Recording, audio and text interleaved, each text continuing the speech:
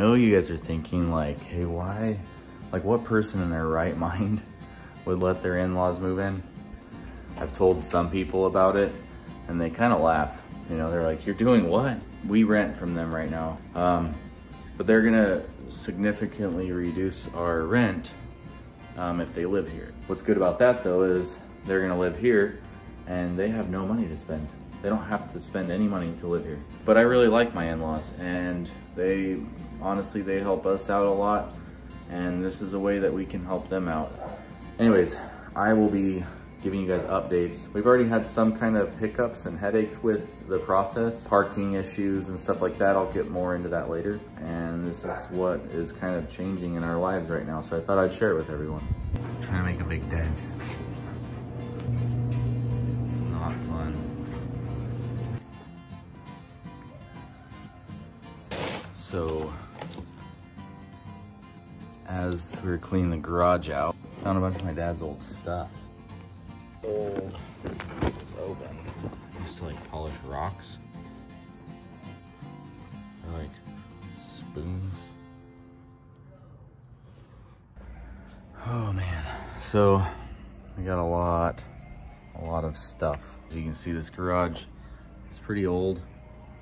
If you guys are like looking in the background, got a lot of stuff out of it, but we still have a lot left. So I've got one load in my truck. The pile's condensing down. So this garage is gonna end up being um, what they call an accessory dwelling unit. This is gonna be where my in-laws live. This is gonna be a bathroom off over in this area. A laundry room here, but you come out of the kitchen and it's gonna be a laundry room here. And then on that side is the bathroom for the accessory dwelling unit. This is gonna look amazing in here when we're done with it. There's a lot of work to do. I just poured all this. That slab's new. All the anchor bolts, underground plumbing and all that stuff. I don't have video of that. Getting ready to start framing. I still gotta tear all this stucco out, cut these overhangs back. So all this is coming out. There's gonna be a door about right here going into their bathroom. That's gonna be their door right here into the bathroom. So our laundry room and the garage and stuff is gonna move into that room there. This will be their new living space with their kitchen against the wall, their bedroom in this area, living room area here, and kind of a breakfast nook with cabinets and storage and closet. Um, window, front door, window. We're gonna upgrade that guy next week, get a new main panel upgrade and start running electrical in here, all of our rough electrical. The tricky part for this room, if you can see, if you, let's see, see the garage floor is, re, is recessed basically. So I have to bring the garage floor up level with this because that's where my mud plate is. I still have a lot of stuff to clean up. Some of these tools I still need. Some of this other stuff, uh, cans I gotta recycle. But some of this other stuff, it's hard to get rid of. There's gonna be can lights all in here. Of course, the garage door is gonna come out and that, that wall is gonna get framed in. So that's where their entry will be. And then like I said, their door for their bathroom is gonna be off there. So they got a pretty good bathroom. That's gonna make this room feel a lot bigger. And there will be a indoor laundry room in there uh, with a freezer and all that kind of stuff. This is our laundry room now, which is, it's working, but it tends to become a mess, especially right now when we're, we've got all this work going on. Water heater's coming out. We're putting a new tankless water heater mounted into their water closet, which is the toilet room. It's just a separate little room for the toilet. Like I said, I've got to tear all this stucco out first and expose all this framing. So when I start to tie my walls in over here, then I've got a, got a spot to tie in. That there, this one here, one of these under this, what are called HDU2s, and they're hold down anchors. Let me show you that. It just goes like this. I'll just show you real fast. Kind of goes on there like that. I'll double step this wall coming from here, from the existing over for this, this wall here.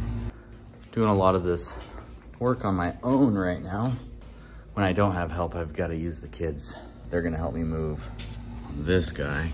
So you can see in here is our kitchen. My sewer line runs right here, across this way. So for all this sewer, I had to run a four inch main and tie into mine over here. So the reason that plywood is there is because I haven't filled, backfilled the concrete yet. You've got your um, washer, washing machine there. That's for the sink in the bathroom, your shower, your toilet, and a vent for your toilet.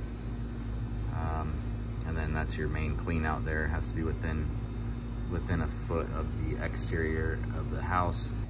So anyways, um, I think I've got everything covered up to now. I'm gonna go in here with a grinder and score lines on the other side. Um, and then just break this stuff out in sections. I've been taking a lot of stuff to the dump.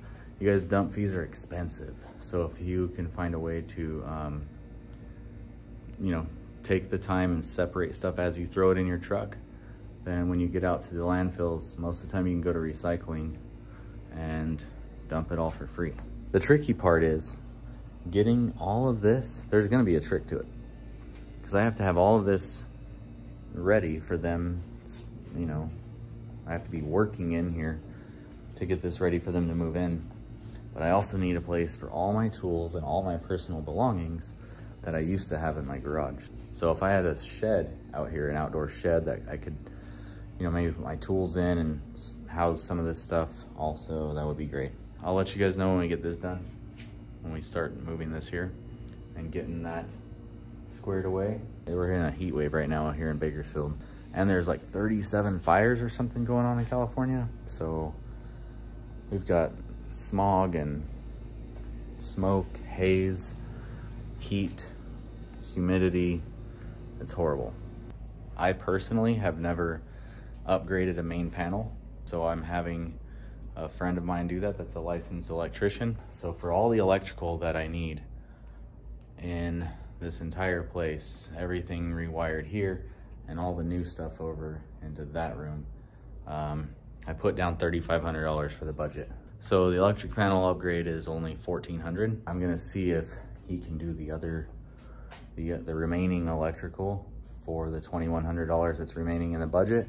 See if he can finish that up because that will give me the time to start on the plumbing. We got an estimate to repipe this house, including the um, the new addition, that was $7,000. It was about a, about another $1,000 to do the sewer for that area there. I did the sewer myself for about $600. I'm thinking I can get done for under a thousand. That's just material.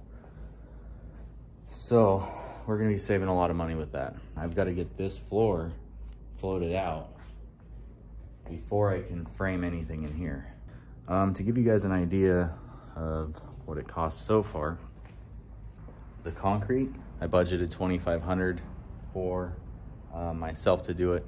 It would have been probably about five or 6,000 to have a, con a, contract, a concrete contractor do it. To do it, we ended up spending like 21, 38 and some change. Plumbing about $660 or so, and I budgeted a thousand for that. We actually got an estimate for a thousand. know if that's something you don't want to spend the time on, the underground plumbing, um, and you want to spend that extra four or 500 bucks, then go ahead and do it. If you're not too familiar with it, a thousand is not that bad of a price. The biggest problem is the eight or 7,000 to replumb the entire house. I don't have any of my own PEX tools, but with me buying the PEX tools and the material that I need, it's gonna put me at about a thousand dollars. That is a no-no. You see how that's wired up there? What are those? that actually runs over to this light switch. We'll fix all this stuff and get it taken care of. So far, you know, we've spent a couple thousand and we've only got concrete down. Um, but that's actually a lot. We have footings and rebar and welded wire mesh, plastic and sand and anchor bolts and all kinds of stuff that goes goes in that Um, it's not just, you know, not, not just a four inch slab running all the way across that. We've got um, 18 by 12 inch footers and or footings that go, go perimeter footings all the way around the entire slab. So there's a lot of detail that goes into that. And this really, this one's really not that intricate. Um, I've seen a lot more, a lot worse. This is with pumping it in. If I didn't pump it in and I wheelbarrowed it in, I probably could have saved myself. Um, you know, if I got like a U-cart and some buggies, it was five yards of concrete. So I'd have to go back and forth five times to pick up, well, yeah, to pick up the buggies and bring them back here, offload them in a wheelbarrow, bring the wheelbarrow through here, and then try, and it's hard, you know, you got a perimeter footing right here. How, with a board or something to try and get across, that's just a pain, it's a pain. You know, it was like $125 um, per yard of concrete on the buggies. So it would have cost me, you know, six, 700 bucks after taxes and stuff. Um, and I would have had a lot more labor. It costs about $780 to have a truck come out with five yards and $210 for the pump. Then it actually helps having a pumper because it's almost like, um, you know, I, I had a, a, helper from our youth group. And so between the pumper, he's actually really good in straightening the rebar out for me and stuff as he goes and knocking form boards. And it's almost like having a third guy with you, you know, and then I'm just finishing. Oh, and the tools. I, I don't own concrete tools, so I rented the tools from um, BS&E Rents for $130 and that was like the magnesium float, the Fresno, and all the hand tools I needed, the uh, concrete vibrator, and all that stuff. So pretty fair price, pretty good deal. Um, got it done in one day. It was a couple hours actually, like four or five hours.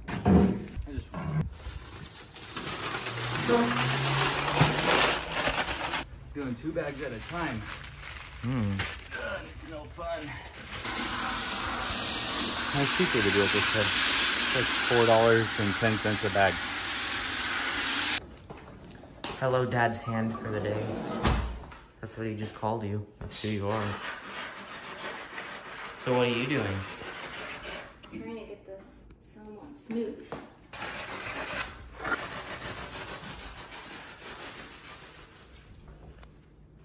Hopefully, I don't know. I know I'm not doing as good of a job as Dad does. Well, that's not why I'm documenting you. Which is where that wall ties in.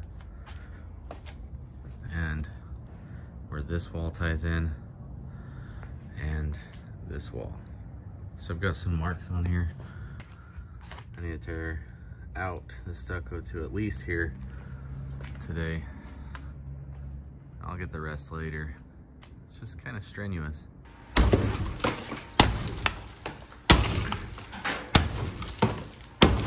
It is hot today. Man, but this is where we're at so far. Building the pile. I'll have to cut all these, all this back to the center of this gable truss here. Um, cut this guy out. I've already cut this out so we can attach our framing. I've got some fasteners, hold down some straps to put in still. So there's a hold down here, third one here. Roll these trusses in. So I have a couple things. I would highly recommend um, whoever your truss manufacturer is, that they come out and do a field measure. Um, I've done it in the past before where they don't field measure and you know field verify and they've been off. When you're putting trusses in, let's make sure you have uh, more than, you know, somebody to help you. You can't really do it on your own. It's kind of tough.